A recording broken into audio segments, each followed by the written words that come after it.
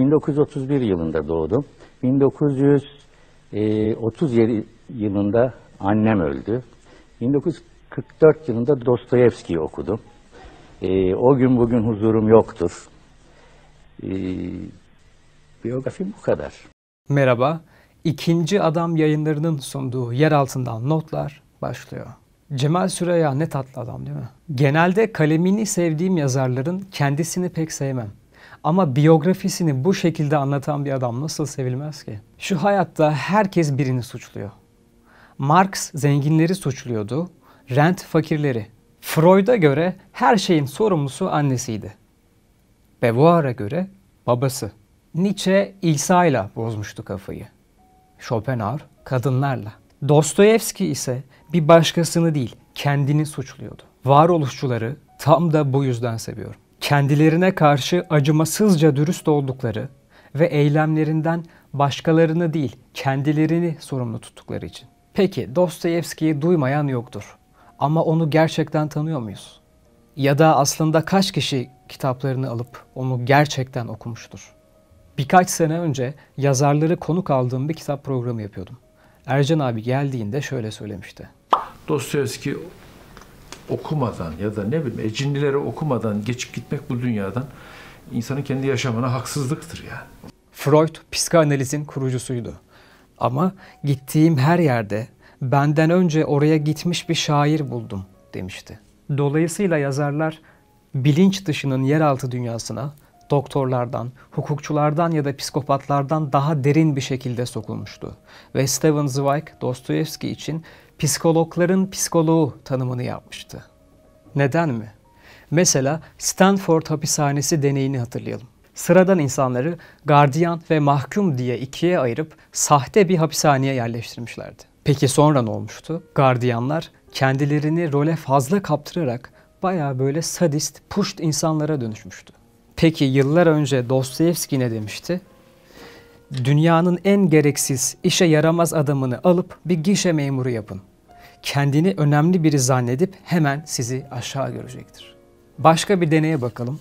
İnsan sence en çok yalanı kime söyler? Manitasına mı? Annesine mi? Arkadaşlarına mı? Hayır kendisine. Psikologlar bunu 1959'da yaptığı bilişsel uyumsuzluk deneyinde fark etmişti. Çıkan sonuca göre insanların kendi zihnini manipüle ettiği, apaçık ortada olan bir gerçeği bile kendi çıkarına göre yorumlayıp değiştirebildiği anlaşılmıştı. Peki bu deneyden tam 79 sene önce Dostoyevski Karamazov kardeşlerde ne yazmıştı? Önemli olan insanın kendine yalan söylememesi kendine yalan söyleyip söylediği yalana inanan kimse kendi içindeki ve çevresindeki gerçekleri tanımamaya, bunun sonucu olarak da kendisine ve çevresindekilere saygı duymamaya başlar. Kendine yalan söyleyen kimse herkesten çabuk da gücenebilir. Peki bu psikologların psikoloğu çok mu normaldi? Kesinlikle değildi. Zaten kendisi söylemiş. Benim kişiliğim her zaman karamsar, hastalıklı ve heyecanlı olmuştur diye. Kumar bağımlılığı vardı mesela. Ama ne bağımlılık. Okuduğumuz çoğu kitabını kumar borçlarını kapatabilmek için yazmıştı.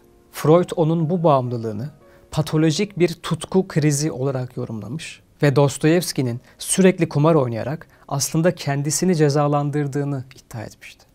Yani oynadığı kumarda zevk değil de güçlü bir yıkım içgüdüsü vardı. Ama dışa dönük değil, içe dönük bir şekilde. Mazoşistçe. Çünkü adam hep bir suçluluk duygusu hissetmiş. Freud'a göre Dostoyevski'de Ödip kompleksi vardı. Yani özetin özeti olarak annesini babasından kıskanıyordu ve suratsız, otoriter babasıyla sürekli bir iktidar mücadelesi içindeydi. Zaten eylemlerimizin tek bir nedeni olmaz genelde. Bende mesela öfke bozukluğu vardı biraz ki en çok öfkeyi her zaman kendime duymuşumdur. Tavsiye üzerine spora başladım. Artık ne zaman kafam atsa gidip makinelerle dövüşüyor, ağırlık indirip kaldırıyorum. Eve döndüğümde o kadar yorgun oluyorum ki artık bir şeylere kızmaya mecalim kalmıyor. Spor işin bahanesi yani. Dostoyevski Sara hastasıydı ve sık sık epilepsi nöbetleri geçiriyordu. Hayatındaki en önemli dönüm noktası ise son anda idam edilmekten kurtulmasıydı. 1849'da devlet aleyhine propaganda yapmaktan tutuklanmış ve 8 ay boyunca sorgulandıktan sonra idama mahkum edilmişti. Hapiste aylarca öleceği günü bekledikten sonra gözleri bağlanarak infaz alanına götürülmüştü. Ancak ölüm fermanı okunduktan sonra tam kurşuna dizilecekken Çar'ın idam kararını geri çektiği haberi gelmişti. Ardından 4 yıl kürek mahkumluğuna ve 6 yıl zorunlu askerlik cezasına çarptırıldı. Ve tabi bu 10 senenin ardından en iyi kitaplarını yazmaya başladı.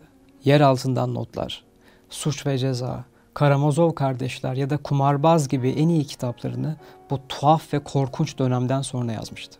Peki suç ve cezadaki Raskolnikov bir katil olmasına rağmen neden dünyada en çok okunan ve en çok sevilen roman karakteridir? Çünkü Dostoyevski yargılama değil, anlama çabası içindedir. İyi ya da kötü diye ayrımlar yoktur onda. Çünkü herkes iyi olduğu kadar biraz kötüdür, kötü olduğu kadar da biraz iyidir işte. Belki de bu yüzden kitaplarındaki karakterler sürprizlerle dolu ve belirsizdir.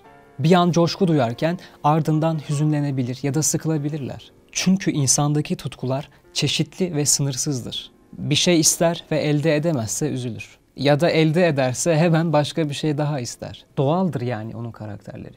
Doğal ve gerçektir. Tıpkı bizim gibi. En nihayetinde çoğumuz iki duygu arasında sıkışmış insanlar değil miyiz? Bir yaşadığımız hayat var, bir de arzu ettiğimiz. Ve bu ikisi arasındaki mesafe ne kadar açılırsa o kadar mutsuz oluyoruz.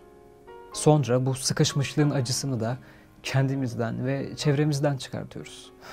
Ne diyeyim? Ne mutlu kendi kendisiyle mutlu mesut yaşayan insanlara. Ben pek beceremedim bu işi.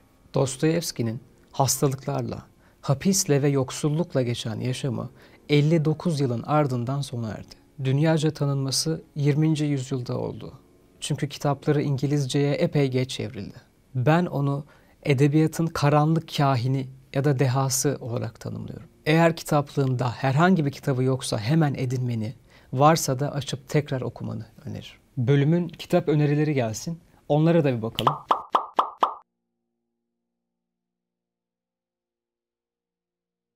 Çok iyi kitaplar var aralarında.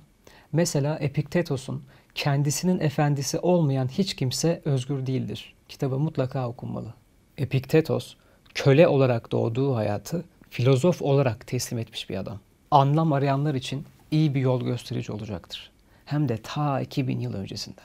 Vazgeçebilmek kitabı da bayağı iyi. Şahsen vazgeçebilmeyi özgürlük olarak nitelendiriyorum. Ve önemli sorularla karşılaştım bu kitapta. Öyle çok ağır bir dili de yok. Adam derdini gayet sade, anlaşılabilir bir şekilde anlatmış. Okumakta fayda var. Şimdi bir de şöyle bir güzellik var. Bu kitapları destekdükkan.com üzerinden %40 indirimli olarak alabiliyorsun. Linkini açıklamaya bırakacağım. Biraz karıştır siteyi.